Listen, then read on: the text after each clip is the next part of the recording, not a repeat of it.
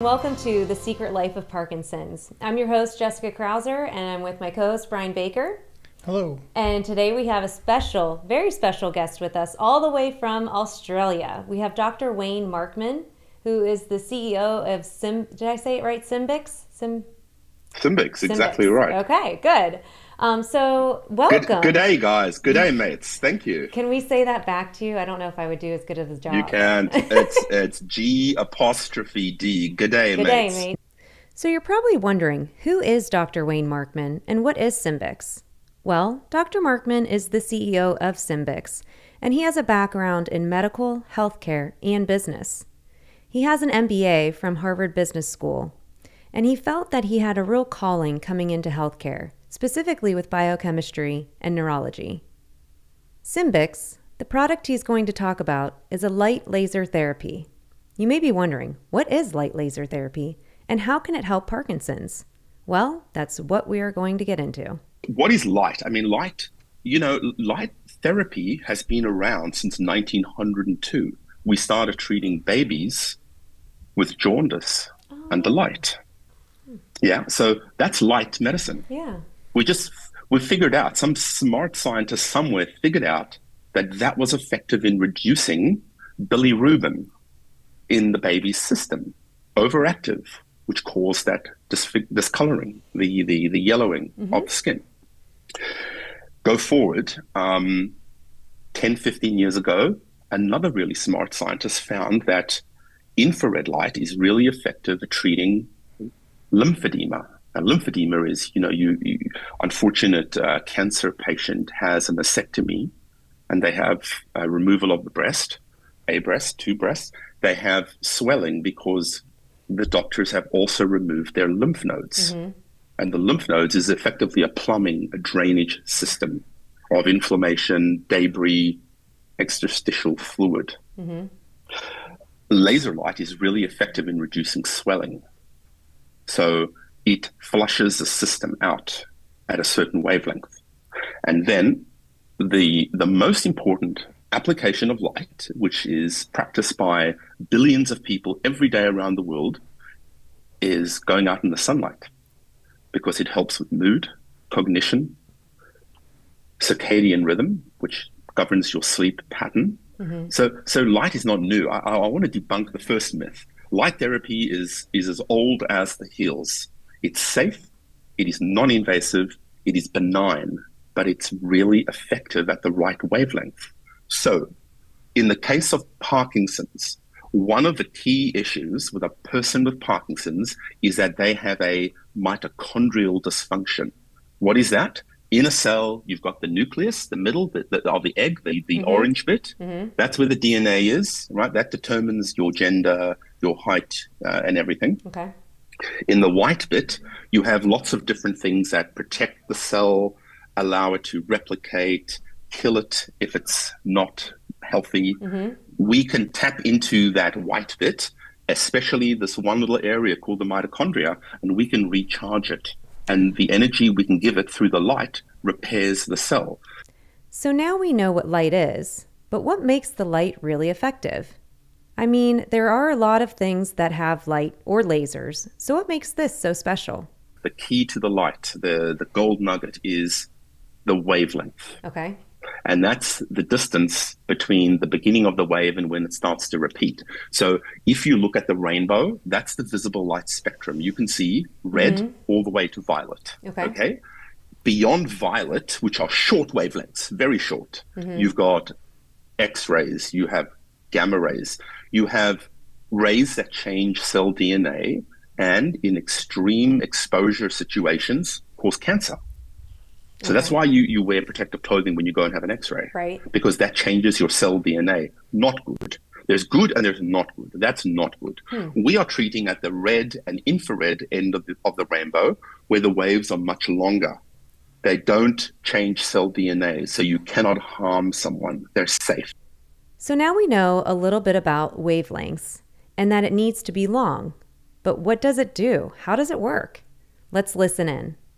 Beyond infrared, you, you cannot see infrared with your naked eye. Mm-hmm. An insect could. Insects are much smarter than us. They could. Um, you have TV waves, phone waves, Microwaves. cell waves. No, microwaves are on the dangerous end. Okay. Those are the really short ones. That's why you shouldn't put your head in a microwave and turn it on. Oh, You'll cook okay. yourself. um, and you have radio waves. Uh-huh. That's where we're treating. So that's how a, a wave of light works. If you take a laser, okay, a little bit Oh. of propaganda marketing here. If you take the Symbyx laser and you turn it on, Uh-huh. okay, you cannot see any light because Okay. it's infrared. But if you looked through an infrared lens, you could see two beams coming out. Mm-hmm. So that's a really safe wavelength. You cannot see it. You cannot hurt yourself. You cannot damage your eye. You don't need protective glasses. If you shine that on your skin, that has a beneficial health effect on all of our cells in the body. In particular, cells that are stressed out and unhealthy, sick cells. So you might be wondering at this point, where do you point it and what does it do for you? the light taps into the nervous system, which is why part of the Symbyx protocol is to put it on the back of the neck, round about the level of the uh, the brainstem, and that stimulates the nervous system. The central nervous system is the brain, the spinal cord. So what we're doing is we're switching it on, and we're reinforcing the connection between the brain and the gut. We'll get to the gut brain axis because we'll address it from the gut up, not the brain down. But part of the protocol is on the neck. The other major part of the protocol is on the stomach. But that's how the light works. Um, so it taps into the nervous system. It increases cell uh, uh, energy because the mitochondria produces the energy for the cell. It allows the cell to repair itself. It helps with digestion. It helps with brain fog. In many cases, it's reducing the motor deficit. So there is a link between the gut and the brain. It's called the gut brain axis. It's actually the vagus nerve. The vagus nerve is the only nerve in the body that travels from your brain to your gut. Okay. We know that 80% of the communication along that vagus nerve is actually from the gut to the brain, not the brain to the gut. So the gut directly influences the brain, and it's one of the latest, most powerful concepts in modern medicine. Mm-hmm. It's, to me, the third discovery of the century. Okay? If you influence the gut bacteria, you can influence the signaling that happens in the brain to produce something that increases your motor deficit in Parkinson's. Mm-hmm. And that something has to be dopamine because that's the chemical that influences your movement. If you have a lack of it, you have Parkinson's symptoms. If your Parkinson's symptoms improve, it has to be dopamine. And we know we improve Parkinson's symptoms by treating the gut. And we've done that in three clinical trials. We've got four more. Three are in Parkinson's, one is inflammatory bowel. So you change your brain neurology through treating your gut with laser light. We wanted to hear more about clinical trials and what the team is doing to learn more about Parkinson's patients across the country. We have several clinical trials completed already. They were all done in Australia. Mm-hmm. They were done in the mid 2000s and they were published in, you know, for example, the BMC Neurology Journal in the UK in July of 2021. Uh, a small study was published and it was followed up by another small study. Why small? Because that's what the scientists could afford at that time. They cobbled together Parkinson's patients and they tested the technology.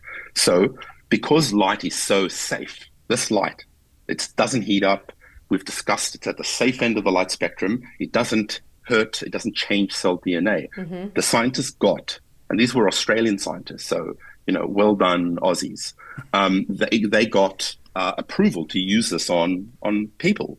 They ran some clinical trials, they were small trials. Now, the biggest criticism of those trials were that they did not have a placebo arm or a sham group. So you couldn't test the laser on someone with Parkinson's with a live laser and uh, versus a fake laser. Okay. Remember, it's infrared; you can't see it, so it's mm-hmm. really easy to use a fake one. You just don't connect the diodes; mm-hmm. they, they sound the same, right? Beep beep beep beep. That's just a sound. There's no laser light coming out. That's a gold standard. That's called a randomized placebo trial. Mm-hmm. We have three of those for Parkinson's already going. And we have another one for inflammatory bowel disease, all using the Symbyx laser. We know the results are good because we've treated now almost 4,000 patients. And the reaction, the response of the patients is like any typical therapeutic distribution curve. So we have followed all of these patients now for three years. none of them have regressed. They st- they're still using the light therapy. Absolutely. Okay. Unfortunately, once you start, you have to keep going because it's not a cure, it's improving Mm-hmm. the symptoms. Okay, so we're starting to get an idea of what laser therapy is like. But for patients like Brian, who recently went through deep brain stimulation or DBS surgery, how does DBS differ from light laser therapy? Let's listen to his response. We're providing a, a light signal.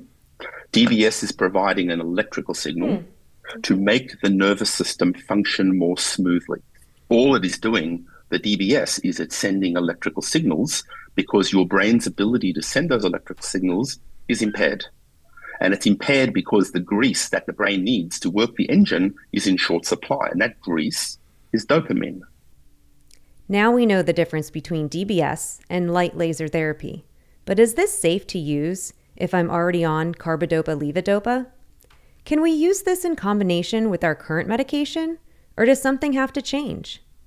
That's the question we ask next to Wayne. So we're seeing improvements in people that are pre-medication. There, there's a there is a group of people out there, and I'm not advocating anyone stops their medication. I think mm-hmm. that's irresponsible. Mm-hmm. I think you, you you deal with your your prescribing physician, and you discuss your progress with them. Mm-hmm. But what I can say is that this therapy is safe to use with medication mm-hmm. and without medication. And you do not want to introduce two variables. If you start the laser and you're on mm-hmm. medication, you don't stop your medication. And that's that would be irresponsible.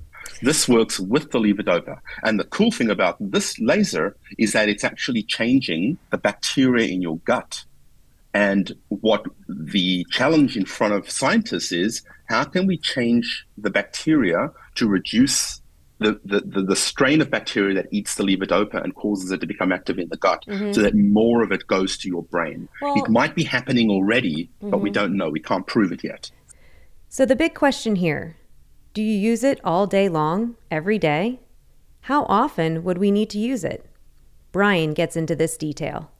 Um, I'm really interested to see like how, you know how often you have to use the light, how long you have to hang on to use you know turn it on and have it, Yeah. things, you know those those types. Cool. Of things. Yeah, I understand. Great question. Because now we get to the clinical trials and the therapeutic effect and dose response. So, what's the right amount of energy? How many times a week to affect the health desired health outcome? Right? Because anyone can whack a light on them, but that's not going to have any effect. The optimal dose yielded the best health outcome, and that optimal dose was about 60 to 70 joules of therapy in a session three times a week.